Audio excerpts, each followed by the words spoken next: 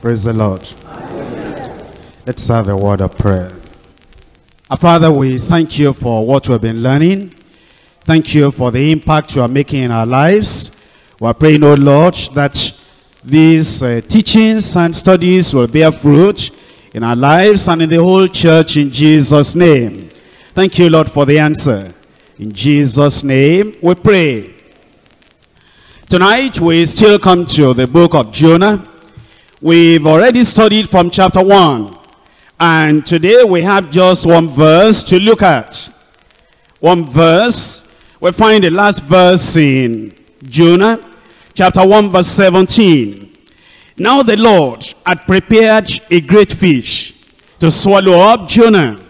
And Jonah was in the belly of the fish three days and three nights. Please flip over to the New Testament in Ephesians chapter 3. Reading there just in verse 1. Ephesians 3, verse 1. For this cause, I, Paul, the prisoner of Jesus Christ, for you Gentiles. And then it moves on all through to verse 6. You'll see that we made a comparison last week between Jonah and Paul. Jonah went through the storm, and Paul went through the storm. But I told you that there was a difference uh, between Jonah and Paul. Because Jonah was an unwilling missionary. But in the case of Paul the apostle, he was a willing missionary.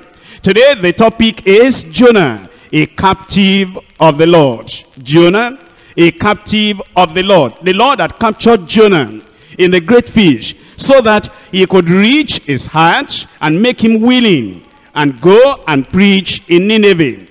He was then an unwilling captive. In the case of Paul the apostle, he was a willing captive of the Lord, ready to go and preach the gospel to the Gentiles. But it might uh, surprise you that we have this one verse, and we're still going to divide into three points. We're back in Jonah, chapter 1, verse 17. Number one, you see there the manifold resources of Jehovah. In fact, as you look at the whole of the book of Jonah, you will see that the Lord had a lot of resources with him to make those resources accomplish his will so that eventually everything will combine together and help Jonah to fulfill the will of God, the manifold resources of Jonah. Number two, the merciful rescue of Jonah. They had thrown Jonah down into the sea. And little did those mariners know what God was going to do. Maybe they thought he will drown. But the Lord is so merciful. He will not deal with us according to our iniquities and sins. He rescued him. The merciful rescue of Jonah. Number three is the miraculous resurrection of Jesus. You'll find that in the New Testament, Jesus Christ himself, referring to this experience of Jonah, he talked about his death and burial and resurrection as well. It's a marvelous thing as you look at the actions of God, not only in the book of Jonah, but uh, in the whole of uh, the Bible to see the resources of the Lord. Let's go to point number one. The manifold resources of Jehovah. It says now, the Lord had prepared a great fish to swallow up Jonah. God could control the fish more readily than he could control the fisher of men. And sometimes it's like that. That you find that the fish in the world, that is the sinners that need to be reached. There are times that God can even control them more than he can control those of us who are supposed to be fishers of men. God prepared a great fish and used that great fish to fulfill his purpose. Well, it's very simple because God is the Lord of all his creatures in his creation. Whether it's the fish or the ass in the book of Numbers or Caiaphas in the gospel according to St. John or Gamaliel in the Acts of the Apostles. All these things, whether in the animal kingdom or in men or even among the angels, all are the resources and the messengers of the Lord. Eh, you look at this fish.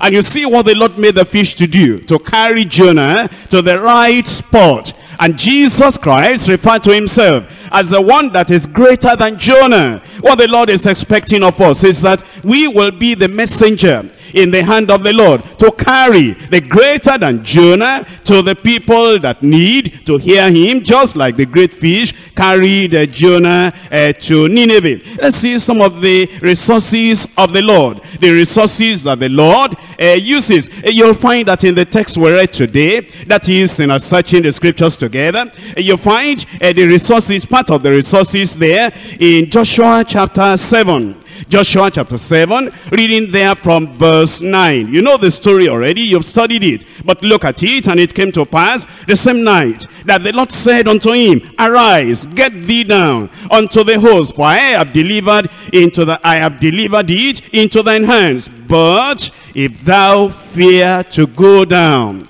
go thou with Purah and thy servant down to the host, and thou shalt hear what they say, and afterward shall thine hand be strengthened to go down unto the host. Then went he down with Purah, his servant, unto the outside of the armed men that were in the host the Midianites and the Amalekites and all the children of the east lay along in the valley like grasshoppers for multitude and their camels without number. Then it goes on, it says, and when Gideon in verse 13 was come, behold, there was a man that told a dream unto his fellow and said, behold, I dreamed a dream. It goes on with the dream and then his fellow in verse 14 answered and said, this is nothing else save that is except the sword of Gideon, the son of Joash, a man of Israel, for into his hand, as God delivered Midian and all his souls. And it was so when Gideon heard the telling of the dream and the interpretation thereof that he worshipped and returned. You will see here the Lord used this instrument. They were Midianites. They were not even believers at all. And here was Gideon. He was afraid to go and do what the Lord wanted him to do. And God used those Midianites, Gentiles, as instruments in his hand to encourage him, to strengthen him, to fortify him, so that he will do what the Lord wanted him to do. In Joshua chapter 2, Joshua chapter 2 verses 8 and 9. And before they were laid down, she came up unto them upon the roof. And she said unto the men, I know that the Lord has given you the land and that your fear and terror is falling upon us and that all the inhabitants of the land faint because of you. And you see that those two spies went and this gentle woman, in fact a harlot, in fact she wasn't born again, she wasn't converted yet. It was after they met her and then gave her the token that she will show when they will come back that we really find she had experience with the Lord. But God used her as an instrument to encourage them. And what was their testimony in verse 24? They said unto Joshua, truly, the Lord has delivered into our hands all the land. How did they know that? By the encouragement of uh, that woman that God used as, uh, as uh, one of the resources, as a messenger, as an instrument. You remember the case of Balaam in Numbers chapter 22. Numbers chapter 22.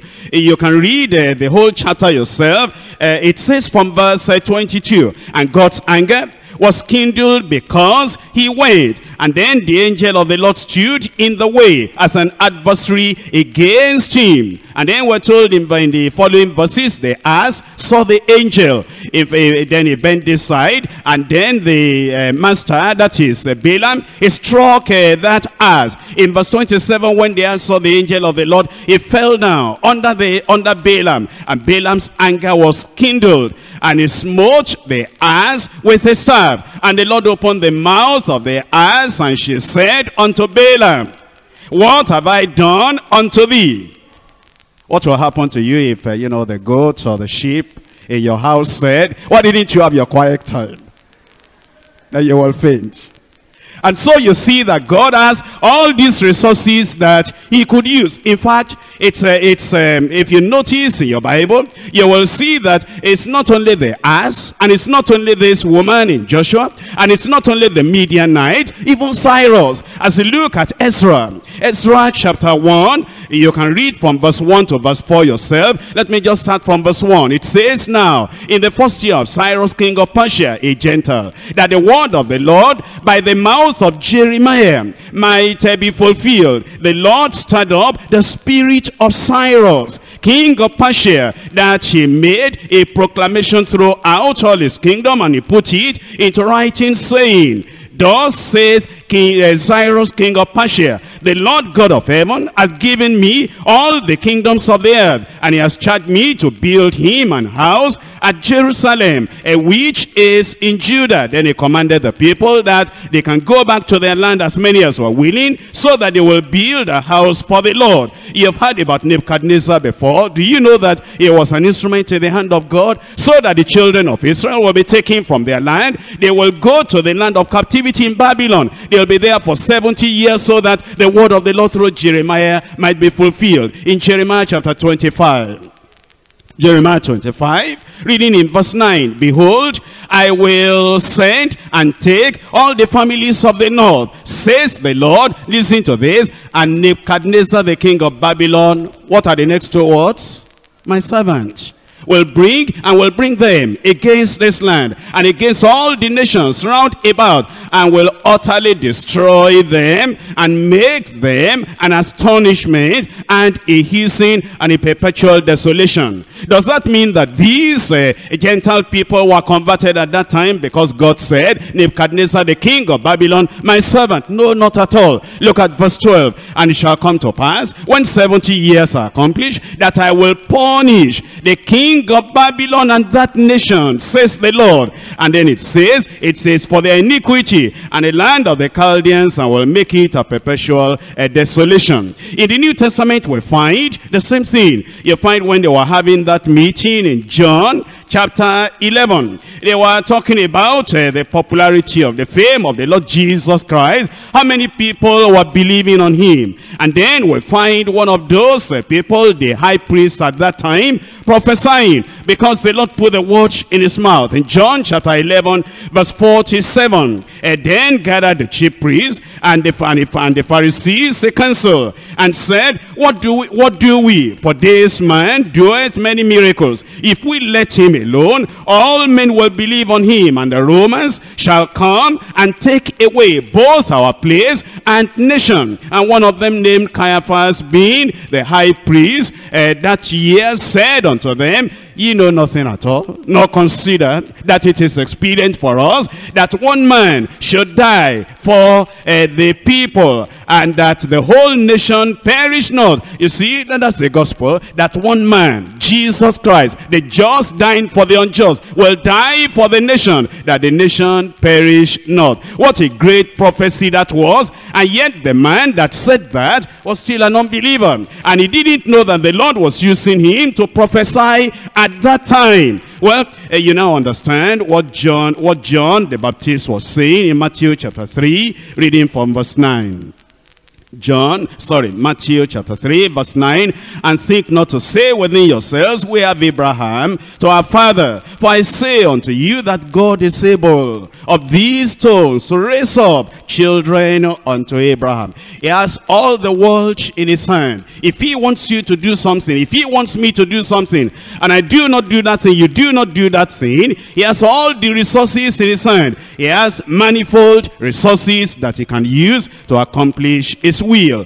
We come to point number two. Well, you can write down this reference, Acts of the Apostles chapter 5, verses 33 to 40. There you will find how God used Gamaliel, instrument in the hand of God. Acts chapter 22, verses 3 and 10 is still talking about Gamaliel, but Gamaliel was responsible for teaching Paul the apostle when he was Saul, teaching him the whole the Old Testament. And eventually that man became a mighty instrument in the hand of God. We're not surprised. He even used a Pharaoh and uh, Pharaoh's family to raise up Moses, the deliverer of Israel. He has manifold resources he can use.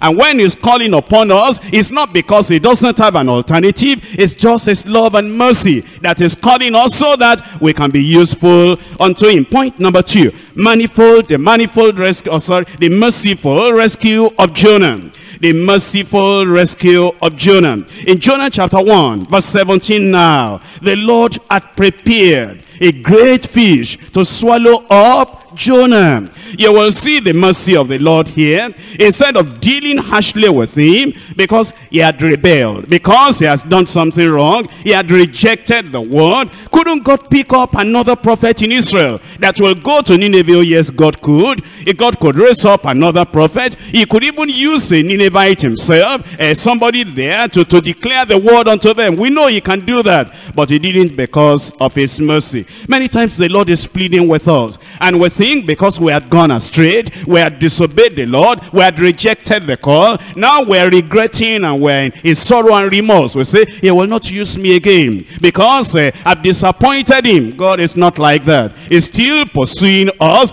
because of his mercy. In Psalm 103, Psalm 103, verses 10 and 11. He has not dealt with us after our sins, nor regarded us according to our iniquities. For as the heaven is high above the earth, so great is his mercy towards them that fear him. If he sees that nothing in you, the fear of the Lord. Although it may be that the fear of man is covering that fear of the Lord, but he can see through that fear of man. Look at Gideon. In fact, as we study that chapter we study today, have you noticed the use of the word fear? It says, Gideon, you tell them, whoever is afraid, let him go back. And 22,000 went back. And then God in the uh, other verses said, now Gideon, I know you're afraid too. Yet you didn't go back. And I know you're afraid to go. If you are afraid to go, go there. And then the dreams they tell will show you that you can do it. Which means that all those 22,000 people, they were afraid. And they went back. And Gideon himself was afraid. And yet God found a way to deal, to deal with that fear. It may be that you too, you have some. Eh, you have the fear of man. And yet he knows in your heart, really deep, deep, deep down in you, you have the fear of God. And therefore he will still use you. And he'll be merciful unto all your mistakes and all your iniquity in Jesus' name. In Isaiah chapter 54, Isaiah chapter 54, reading from verse 7. Isaiah chapter 54, reading there in verse 7, For a small moment have I forsaken thee, but with great mercies will I gather thee. When, uh, you know, the storm rose up and they were throwing everything out of the ship, well, so God was angry. Yes, maybe he was angry. Maybe, he, of course, he didn't like what Jonah had done. And he says, For just a small moment have I forsaken thee, but with great mercies will I gather thee. In verse 8, in a little wrath, I hid my face from thee for a moment. But with everlasting kindness will I have mercy on thee, says the Lord, thy Redeemer. He will have mercy on us. And all the mistakes of the past, all the running away from the soul winning the task the Lord has given us to do. And it may be that uh, we have suffered as a result of acting like Jonah. His anger will not be forever his mercy will be upon us. And in Romans chapter 9, Romans chapter 9, verse 16, so then, it is not him, it is not of him that willeth, nor of him that runneth, but of, but of God that showeth mercy. Has God changed?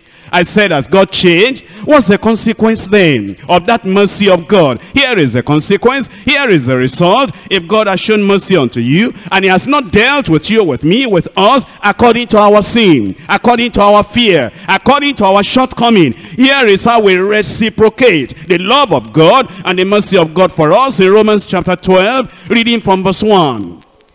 I beseech you therefore, brethren, by the mercies of God, because of the mercy has shown on us, by the mercies of God, that ye present your body, a living sacrifice, wholly acceptable unto God, which is your reasonable service, and be not conformed to this world. Because he has shown mercy unto us, we say, well, uh, Jonah should have drowned, but the Lord showed mercy unto him. The reciprocation of that love is that now I'm going to give everything I have, and I'm not going to love the world world. The world was not able to help me in my trial, in my difficulty. The Lord who has helped me, I give the rest of my life to him. And be ye transformed by the renewing of your mind, that ye may prove what is that good and acceptable and the perfect will of God. In uh, Psalm 1, 1 6. Psalm 1, 1, 6. Here is what the psalmist is saying. As a result of the loving kindness of God, as a result of the mercy of God, he says, this is what I'm going to do now.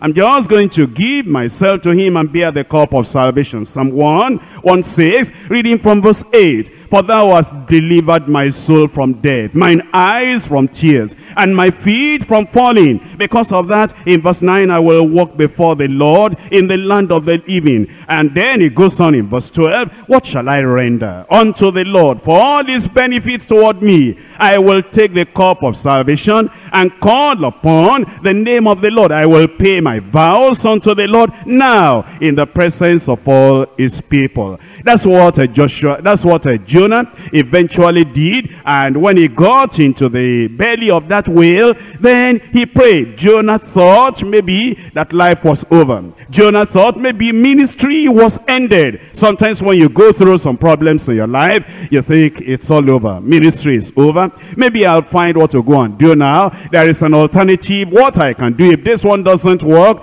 No, it's not like that. You're looking at the wrong side of the situation of the event. God was not finished with Jonah yet. God sent a great fish, number one, to rescue Jonah. Number two, to return him to Nineveh. Number three, to renew his vows. Number four, to put to bring him to the point of recommissioning him for the assignment of preaching the word in Nineveh. Number one, to rescue. Number two, to return him to Nineveh because he was going the other direction. Number three, to renew his vows. Number four, so that he can bring him to that point of recommissioning for the assignment of preaching the word of the Lord. I come to point number three. The miraculous resurrection of Jesus. Come to jo Jonah chapter 1, verse 17. Now the Lord had prepared a great fish to swallow up Jonah. And Jonah was in the belly of the fish three days and three nights. Uh, we know that uh, that actually happened because Jesus Christ, the personification of the truth, the one who said, I'm the way, the truth, and the life. He referred to that experience of Jonah. And he referred to that experience as an illustration, a symbol, or a figure of what will happen to him. In Matthew chapter 12, Matthew chapter 12, reading from verse 40 and verse 41. But as Jonas was three days and three nights in the whale's belly. So shall the Son of Man be three days and three nights in the heart of the earth. The men of Nineveh shall rise in judgment uh, with this generation and shall condemn it because they repented at the preaching of Jonas and behold a greater than Jonas is here. He referred to that and he said that as uh, Jonah spent three days, three nights in the whale's belly, so will it be for the Son of Man. Only three days, and after that, he'll rise from the dead. In Luke chapter 11, Luke chapter 11, reading there in verse 30. Here it says, First Jonah was a sign unto the Ninevites, so also the Son of Man shall be to this generation. Uh, you see, the resurrection of Jesus Christ is very, very important. In fact, without believing the resurrection of Jesus Christ, you cannot have salvation. Because it is that resurrection that actually accomplished our justification. In First Corinthians chapter 15. First Corinthians chapter 15, reading from verse 3. For I delivered unto you, first of all, that which I also received, how that Christ died for our sins according to the scriptures and that he was buried and that he rose again the third day according to the scriptures. You say, what if I don't believe that? What if I believe the virgin birth of Jesus? What if I believe his sinless life? What if I believe his miraculous uh, ministry? But I do not believe the resurrection of Jesus Christ. Then you cannot be saved. You cannot be born again. Because we're told in verse 14, And if Christ be not risen, then is our preaching vain and your faith is also vain. Look at verse 17. And if Christ be not raised, your faith is vain, and ye are yet in your sins. It is through that resurrection that uh, we have justification. It is not possible to say somebody is a born-again Christian, but he does not believe the resurrection. In Romans chapter 4, Romans chapter 4 from verse 22 and therefore it was imputed to him for righteousness. Now, it was not written for his sake alone, that it was imputed to him, but for us also, to whom it shall be imputed, if we believe on him that raised up Jesus our Lord from the dead, who was delivered for our offenses, and he was raised again for our justification. His uh, resurrection is for our justification. Therefore, it is sinners to believe that Jesus died. Not only that he died, he was buried uh, three days, three nights, and then he rose from the dead. Uh, you remember Romans chapter 10, verses 9 and 10, that if thou shalt confess with thy mouth the Lord Jesus, and shall believe in thine heart that God has raised him from the dead, thou shalt be saved. It is when you believe that resurrection, thou shalt be saved. For with the heart man believeth unto righteousness, and with the mouth confession is made unto uh, unto salvation. What's the consequence of that in our lives? I mean the consequence of the resurrection of Jesus in Romans chapter 6, reading there in verse 4.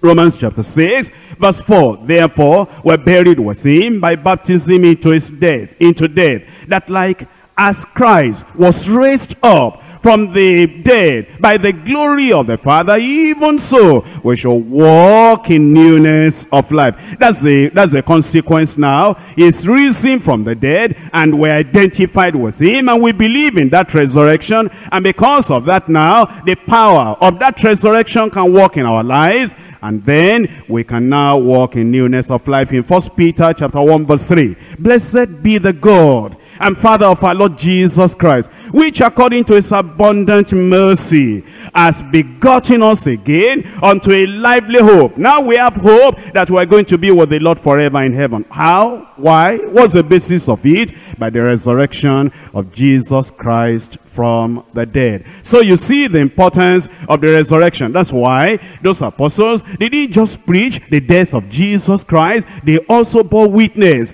to the resurrection of Jesus Christ in Acts chapter 4 in verse 33. Acts chapter 4 verse 33, and with great power gave the apostles witness of the resurrection of the Lord Jesus, and great grace was upon them all. Today we've seen uh, this uh, important verse in the book of Jonah. Uh, Jonah chapter 1 verse 17, the Lord had prepared a great fish to swallow up Jonah. Here we find that God has a lot of resources he can use to accomplish his will. If he has promised you anything, if he says you will do something, and you are wondering, how will it be so? How can God fulfill that thing in my life? He has all the resources in earth in heaven, all the promises he has made to you. He will make use of those resources. He will fulfill those promises in your life in Jesus' name. And then we'll see the merciful rescue of the Lord. If you have gotten yourself into a net, into a problem because of uh, your disobedience and going away from the Lord, the Lord will rescue you is a merciful God. And then you understand the miraculous resurrection of Jesus Christ. Let's rise up and talk to the Lord in prayer for what we have learned today in the book of Jonah. The Lord has a lot of resources. And in fact, you are one of those resources you are an instrument in the hand of God. The ass responded and did the will of the Lord. You can do the will of God. Even that Rahab uh, encouraged the spies that Joshua sent. And the Midianites, as they were telling the dream, it was an encouragement to Gideon. You can be an encouragement to other people too. Even Cyrus, even Nebuchadnezzar. God used them, resources, instruments, messengers in his hand. Let him use you and like the great fish that carried Jonah to Nineveh. Let the Lord use you as the instrument that will carry the greater than Jonah to the place uh, where the people will hear uh, the word of the Lord. And the Ninevites and the sinners will come to the Lord.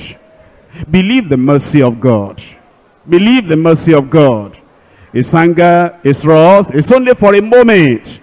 If you have suffered because of any mistake, because of any sin, why don't you look into the love of God? God who is rich in mercy. For the love wherewith he loved us has begotten us again. By grace are ye saved. He'll rescue us. And believe the resurrection. And if that spirit that raised Jesus Christ from the dead dwell in your mortal body, it will quicken your mortal body as well. Believe the Lord,